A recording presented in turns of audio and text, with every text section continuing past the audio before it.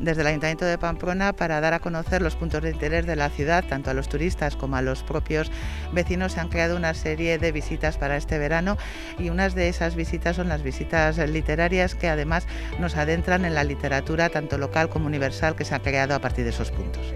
En cambio, con qué placer saboreaban el semanal descanso, qué alegría al ver acercarse la tarde de fiesta.